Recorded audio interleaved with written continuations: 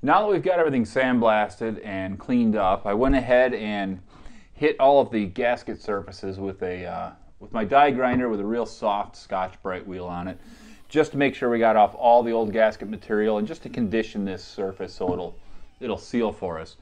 Now, when you do something like that, especially on aluminum, you want to be really careful with it so you don't uh, distort the surface. On this one, this head's already kind of messed up, so I was really careful. There is still a little bit of residue on here, but I figure I'll just clean that up by hand just so I don't, don't mess up this sealing surface. The next thing I want to try to accomplish here is to get these cylinders cleaned up. We are putting new rings in this, and we want them to uh, break in nicely. So I want to clean up the walls, make sure everything's nice and smooth, put some nice crosshatch in there, and really just uh, get it all set to go. To do that, I went to my local auto parts store and rented a, uh, a cylinder hone. Basically, this is just a little little spring-loaded cutter with some some stones on it, and that's going to smooth out the wall. These things aren't great, but it's better than nothing. This one is in uh, pretty sorry shape. I guess that's what you get for going to a tool rental place. But since I don't own one of these, I didn't want to go and buy one for what potentially could be a one-off deal, so I figure the rental is the better way to go. It's a pretty simple setup here. All we have to do is uh, put some oil in the bore. I'm just going to use WD-40 to help act as a cleaner and a lubricant. And uh, we just run it through with our drill and just make sure you move in and out to get a crosshatch. Really pretty, pretty straightforward. I'm just going to go ahead and get things set up here and start cutting.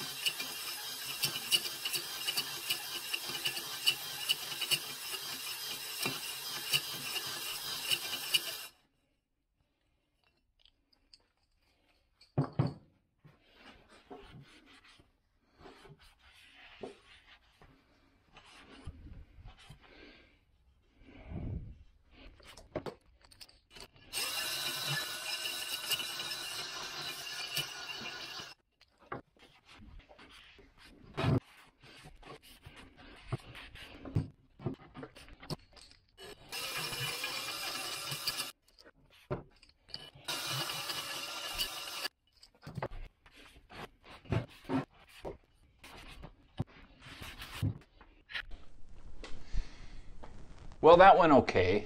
The cylinders are actually a lot worse than I thought they were. I knew there was some, some issues in there with some past rust, but I didn't think they were worn quite as much as they are. There's a, a bit of a ridge up here in the top. I just couldn't feel it when it was all dirty.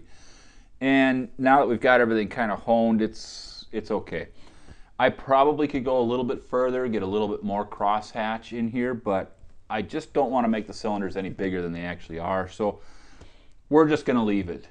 So I'm just going to move this stuff off to the side. Let me grab the crank and the rods and let's see what we can do to fix those up. All right, so I got the crank here and uh, this crankshaft is in okay shape. Like I said, this journal here actually looks really good. I probably could just leave that go. And so we'll do a quick polish on that one and, and call it good. This one here, however, uh, this is the one that was coupled to the bad rod has a little bit of scoring on it, but for the most part, it feels okay. There's a couple spots I can feel with my fingernail. So we're gonna go ahead and polish this one up too. We'll just spend a little more time on it. Really, all I wanna do is make things smooth. As far as polishing this up, uh, I'm just gonna use the old shoestring trick. What we'll do is I'm just gonna clamp this to my bench here. I've got some 2000 grit sandpaper. We're gonna try that and see how that works. We're going to wrap that around the journal and then I'm just going to take an old shoestring and wrap that around the sandpaper and then with a sawing motion uh, it'll polish things up and hopefully keep it fairly concentric.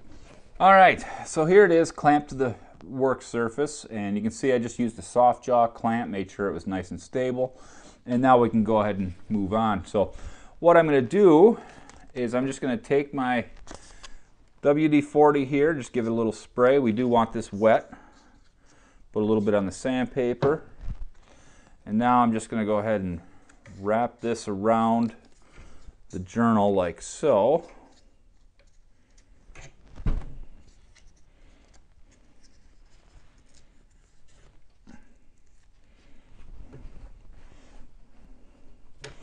Now we'll take our, our shoelace. You want to make sure you use a flat style shoelace for this.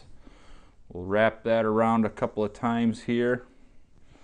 And now, just using a sawing motion here,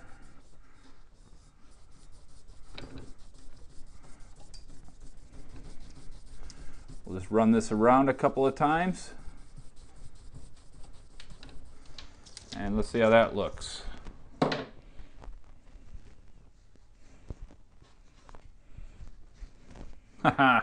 there it is. Look at that. That is done. So I'm going to go ahead and do this, this main while it's sticking out here and just get that out of the way. And then we'll just repeat on the, on the last two and we should be all set to go.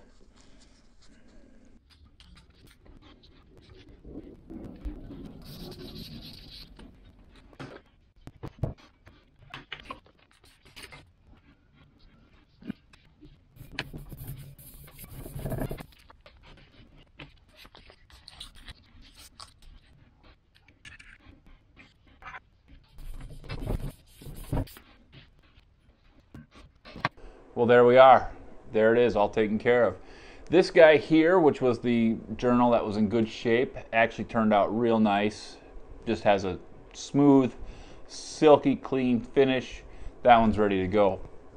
This guy here that had the bad rod um, has some scoring or some kind of weird pitting going on in there.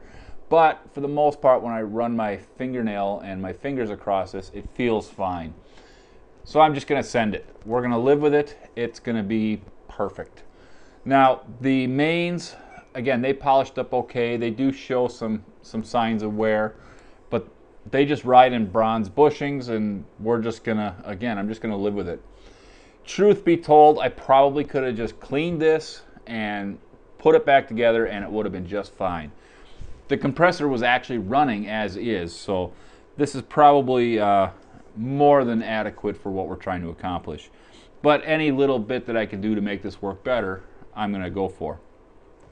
Now, just so you know, this technique can be applied in a lot of different places. In fact, I did this to the crankshaft on my 55 Chevy when I put that together. And some of the journals were, were actually worse than this. All I did was clean them up, uh, threw some new bearings in it, and that car now has 10,000 miles on it and it's running like a top. So you know, it's super effective. You know, the reason for the shoelace is it helps keep things round. If you just try to strap it, you run the risk of, of throwing things out of round. So, crank is done. Let's move on to the rods. This is actually probably the worst part of this whole build. So, what we're going to do here first is I'm just going to mic the journals on the crank and see what sizes we're dealing with there.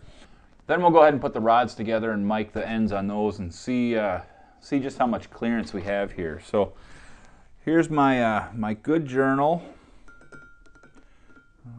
looks like we've got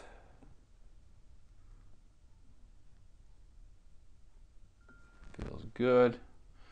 Looks like we're one inch, 123 thousandths ish. It's a little tiny bit over that, but we'll call it 1 123.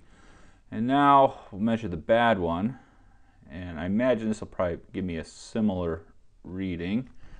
And that is yeah it's the same thing. So it's one inch 123 so now we know what's going on with those. And I'm gonna go ahead and start with the better of the two rods here. I'm just gonna assemble this and we'll see what we got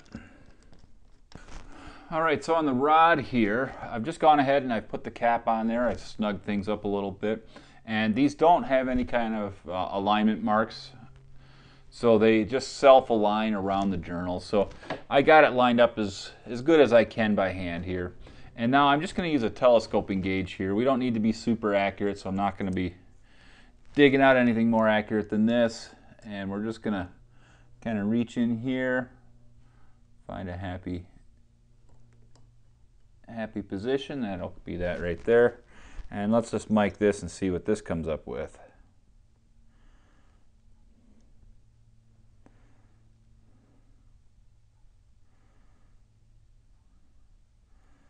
Looks like that comes up to 1 124. So actually, it's not that bad. I'm just going to measure this again, make sure I get an accurate read on this.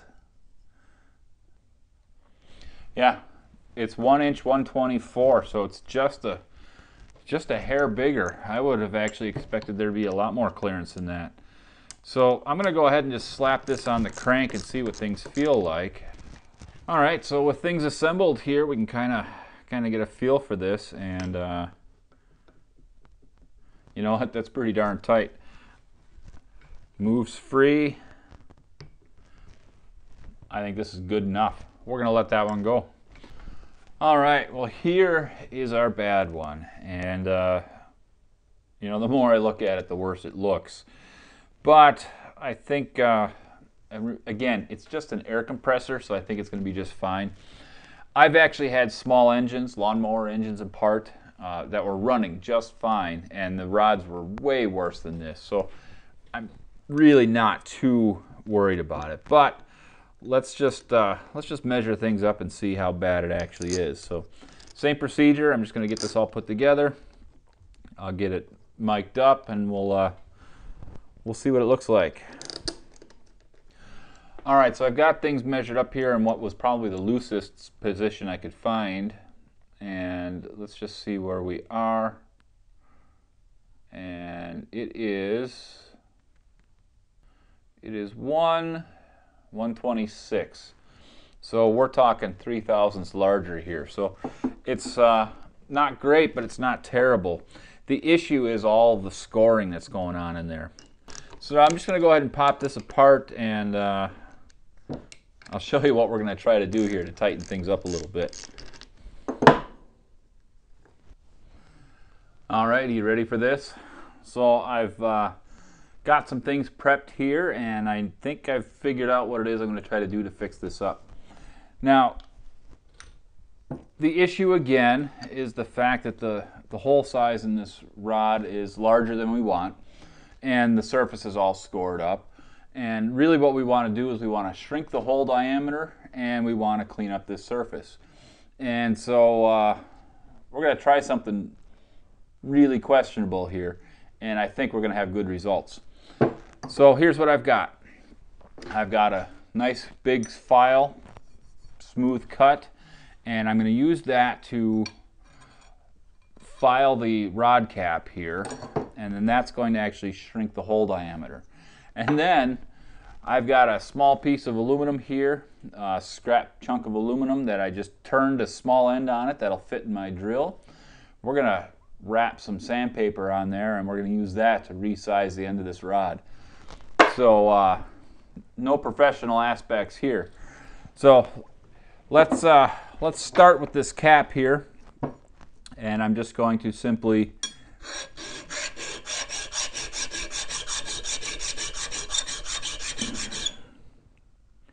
I just want to file this thing so it's nice and flat and a little bit smaller in diameter.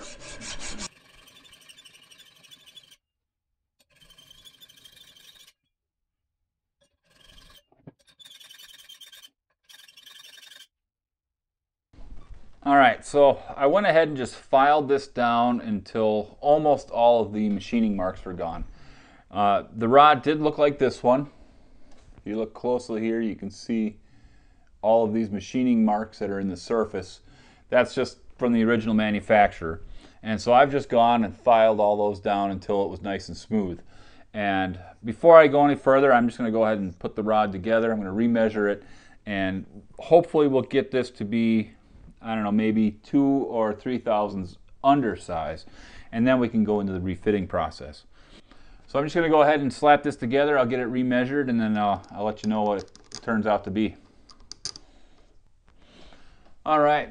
Well, after our first round of filing, I managed to get this down to one inch and uh, 122 thousandths, it looks like. Let me just double check that. Yeah. So we are now uh, one thousandths undersized from the crank journal. So we're, we're moving right along. I'm gonna do a little bit more filing on this. Like I said, I wanna get it down, I wanna get it down about three thousandths undersized. And then we'll go ahead and I'll show, I'll show you how we're gonna polish this up.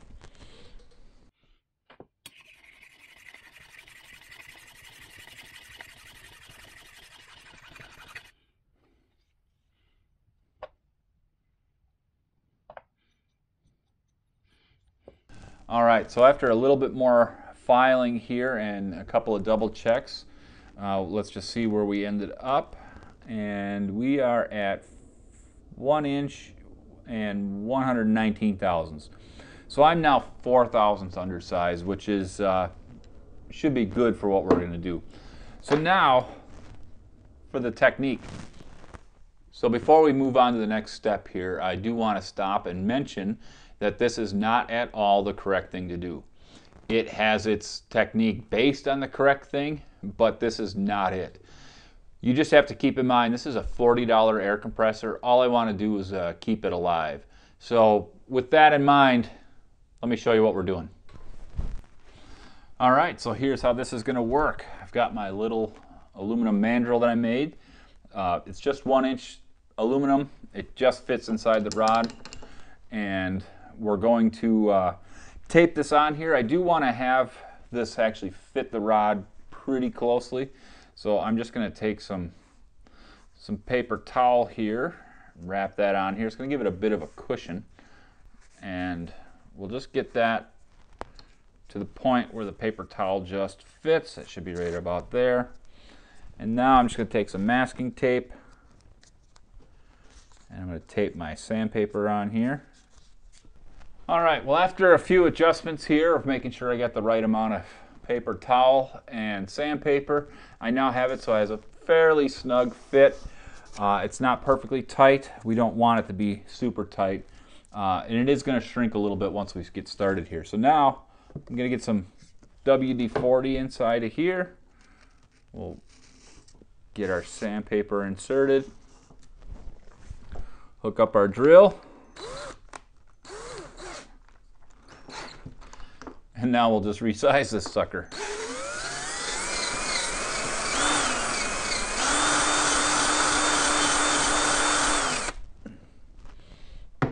It's just aluminum, so it's going to go pretty quick here.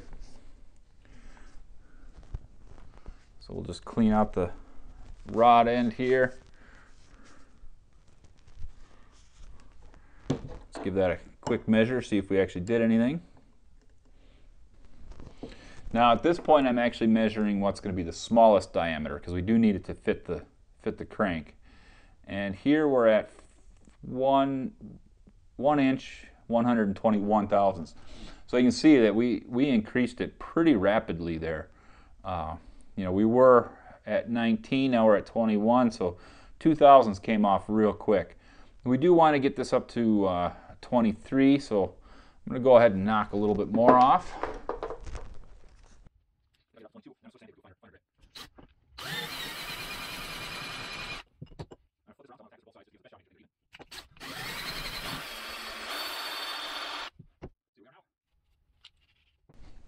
Well, all right, there we are. We've got it to uh, just about 123, and uh, now I'm just going to do a quick polish on this. I want to just get rid of these 400 marks. So I'm going to go back to this 2000 grit paper I have and just give it a quick polish. So let me uh, let me polish this up a little bit, and I'll show you what we ended up with.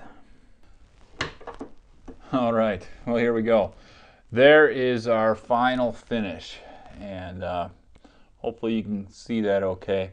The rod cap looks pretty decent. There's still some grooves in it. The rod itself still has some pretty deep grooves in it, but we're not going to go any further than that. I don't want to run the risk of, you know, really screwing things up. And again, this thing's going to work just fine. As long as there's no crap in there that's going to get caught up and cause more problems, it'll be just fine. The ultimate test though, let's put it on the crank and see how things actually fit. All right, well there we are. It's in place and there is just a little bit of play in there just like we want. Look at that. Look at how nicely that thing swings. So that should be uh, should be a whole lot better than it was. Now I can't stress enough that uh, what I just did is not recommended. That was uh, about as sketchy as sketchy gets. It worked, but I got lucky. If you attempt this on your own stuff, uh, I would be prepared to potentially have to throw it away. So, with that said, there's one more thing I do want to do, and that is this edge here on the rod cap uh, and on the rod uh, got pretty sharp during this process. So I just want to ease that edge a little bit. So I've just got a really small, super fine file. I'm just going to lay that on this edge here and just, just knock that surface off. Hopefully you can see this here. I just don't want a sharp corner there that could potentially cause a burr that'll get pulled out. So we'll just do that on, on all these sharp corners that we just created. Let me do, let me do this one here. So there we go, just easing that a little bit just to make sure we don't have any, uh, any issues. And now I'm gonna call this, uh, I'm gonna call this done. So I'm just gonna go ahead and pull these rings off now because we're not gonna be using those. All right, so I got the rings off. We're just gonna set those aside. Those are gonna get tossed here. And now really all we have to do is get the pistons and the rods cleaned up here. You've probably noticed I haven't taken the piston off of the rod and that's because they've got these little expansion plugs that go in here to hold the pin in place. And I don't wanna have to try to refit any of that. So we're just leaving it together. I'm gonna clean this and immediately I'm gonna throw some oil on the pin just to make sure that that's good and we're going to call the pistons and rods done. So let me uh, let me clean up this mess, and I've got one more thing I want to try to accomplish today. All right, so the last thing I want to try to repair here today, um, and it's probably not necessary, but we're going to go ahead and do it anyway, and that is the seats on the head for the reed valves. They look to be okay, but I want to make sure they have the best chance of sealing up uh, both the intake and the exhaust side.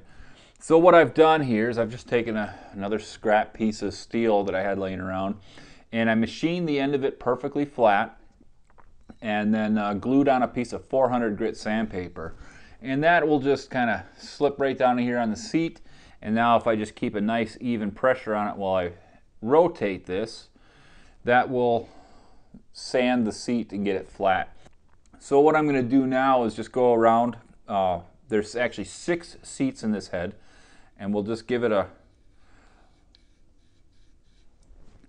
a little polish here, and you can see how it's it's hitting most of the way around. It's not perfectly even, so we'll just go ahead and clean these things up a little bit. I'll get all those taken care of, and then uh, we should be in real good shape.